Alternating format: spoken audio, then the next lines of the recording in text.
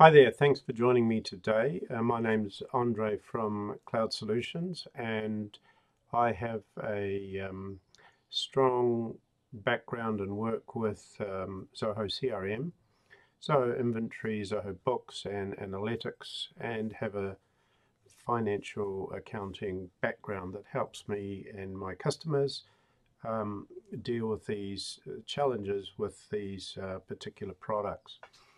So I'm going to share with you some work we've done for a customer recently um, who use inventory in books as well as CRM, but we will focus primarily on the transactions within Zoho Inventory.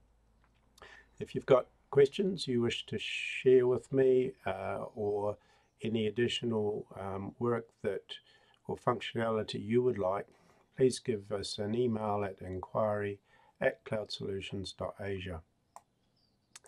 Okay, let's have a look at what we've done with this customer. Firstly, the list of issues they wanted to resolve was really to better track margins and percentages and understand how they're going from day to day um, with their sales. So what we've done firstly is at item level, we've introduced something called margin value, uh, that's the dollar value, and margin percentage. So for each item we're able to calculate those particular items. Also uh, on a sales order we're then able to calculate order margin and order percentage. Customer also has concerns about how much they've been charging for shipping and freight. So they want us to help them reconcile the cost of shipping versus what they have been um, charging customers. So we call this the shipping reconciliation showing a profit or loss on each order for shipping. Um, package creation or package delivery notes um, required some additional manual input so they've asked us to automate some of the key customer data and automatically load that into the delivery note or if the customer changes the address they want for shipping or advises us later, we can just update the order uh, and the packing slip will reflect those changes automatically.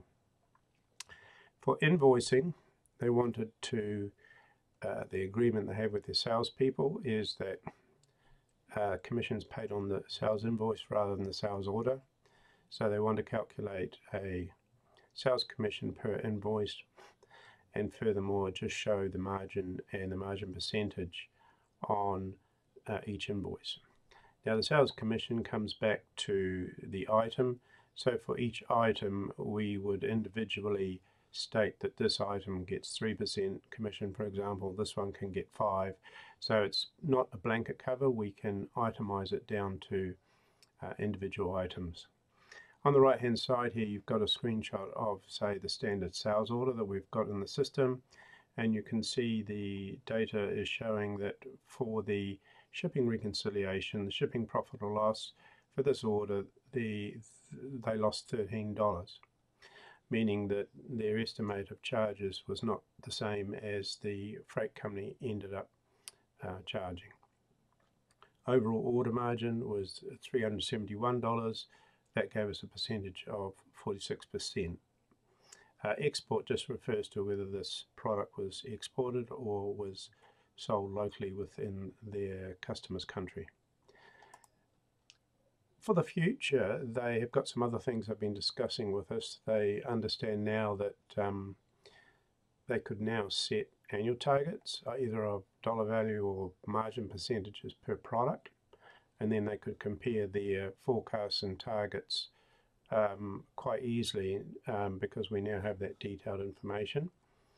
They want to help calculate the cube for freight to try and once the dimensions of the products are loaded in to try and get more accurate with their shipping costs or their charges for shipping. Um, and also some of their customers have different terms and conditions, so they want to automate the loading in of the terms and conditions correctly each time an invoice is, um, is raised. Now in addition to this, once we've been able to build that data correctly, Zoho Analytics has then um, been a powerful tool to visualize that data in graphs and um, uh, widget dashboards with numbers of sales up or down from last month, etc. So this particular graph just shows the sales for the month broken down by product margin. So we can see the areas with uh, all the products that are selling and giving us the most margin. So let's now jump in and have a look at um, how we've achieved some of this for the customer. Right, the first thing we need to do is have a look um, at our items and our items are based um, in Zoho inventory. However, we would have exactly the same um, information available in Zoho books because they're looking at the same items. But, but generally, if you're working with inventory, you're working inside inventory. So you can see what we'll do is we'll open this particular product up and you'll see that the, this is our cost price um, is calculated from our selling price, our margin, our margin percentage. Um, we also have a calculation based on target selling price and then the sales commission for the individual um, salesman if they sell this particular product. Uh, what we'll do here, um, we'll just update the cost price and you'll see that the margin is about 43 and the dollar value is about 530. Um, we'll just save that and then uh, we'll come back to this record in a moment because it takes uh, about a minute or so to actually calculate. So we'll have a look at um, some sales orders for a minute. So let's have a look at uh, this particular sales order. And you can see here the sales order has added up those particular items uh, that are in the order and then has given us a overall margin uh, dollar value profit if you like and also a margin um, percentage. So um, let's go back and now check how those items are going and just see if it's calculated. You could actually just wait for a moment at, um, here we go you see. So the margin's now recalculated to 413 and the margin percentage has dropped down to 34%. So let me go back and um, just re-update that to what the real cost is and we'll let that recalculate again in a moment. Um, while we're looking at that you could also notice that actually from your mobile phone screen which I'm looking at here if you're using the mobile phone app, you will see that all of that data comes through and you can see that on your app without um, any trouble there. So that's also useful to check this information when you're uh, not in the office. Okay, let's have a look now at the um, sales order again. So we'll go back to the sales order and we'll have a look at one of the issues I talked about as far as the um, package creation. So if we have a look at this order, you can see that they've got no uh, package uh, created yet. So we're going to create a new package. And you see this is the screen this customer uses. Um, some of the information about the contact person and email, etc. is not yet completed. They also have calculations um, on the um, cube of the um, process or the items being shipped as well. So what I'm going to do is just uh, save this item and you'll notice that um, the contact information etc has not been uh, completed. So if we go back to the sales order, what we will do on the sales order itself is have a look at the, um, when this arrives, we'll have a look at the shipping uh, details. So you can see here, this is where we are, uh, the customer is going to send the freight to. So you could change your shipping address, but by doing that basically and entering save, we should find that um, in a moment the packaging data will be updated and it has. So it's automatically updated. The shipping address we've identified it's brought across the mobile phone number of the customer plus their email etc and that's basically all uh, automatically done. Okay let's have a look at the profit um, uh, on the sale of items we're going to have a look at uh, this particular order. Um, now, sometimes what happens, and this still works, is that you see we've sent two packages uh, um, because maybe the first order was um, available for stock, but then the second part of the order wasn't. So it was shipped at another point in time. But actually, um, the scripts work for more than one delivery, no problem. Um, so the idea here is you'll see that for this order, the profit, if you like, or the surplus on shipping was $5.60 or 565 um, So what we're looking at here is really the shipping charges that we have charged the customer. And then once we receive the uh, invoice from the uh, freight company, we track how much they've charged us on each particular delivery note. So that was about $12 and this one was about, well, so this same one, let's go back. And this one was $37, so 37 and 12, you know, um, uh, what's that, 37 and 12, $49, something like that. And we charged um, 57.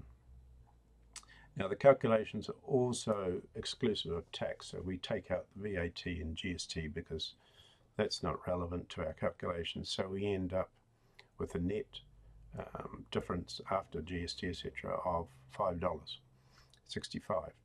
Uh, so that that works very well for us, and also the order margins are also done exclusive of uh, GST.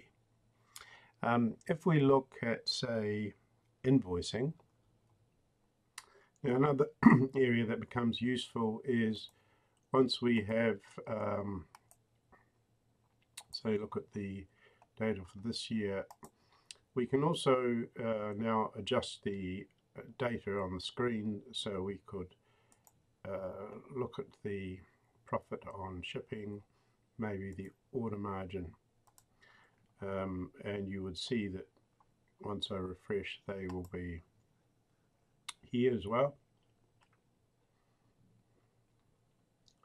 So you can see that I can see that data on here. I can quickly see which orders we haven't done well on the shipping which orders we've done well with or uh, the, the margins etc all uh, on the screen here. So that's useful the other thing that sometimes happens is um, costs. So, for example, this particular order, we have accounted for costs.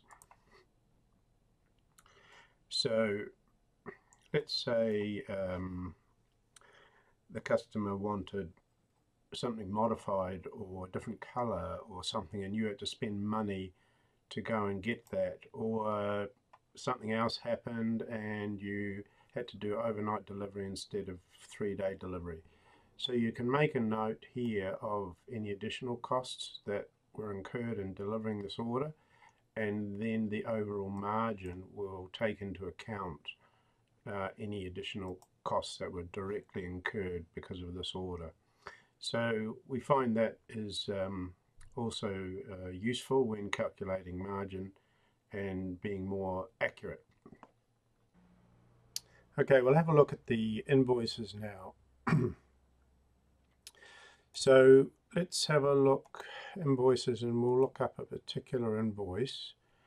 Um, so we're looking at 1475 here and you'll see as I scroll down the invoice we've calculated a few items we've calculated the margin on the invoice. We're tracking an old invoice number as we've converted to books.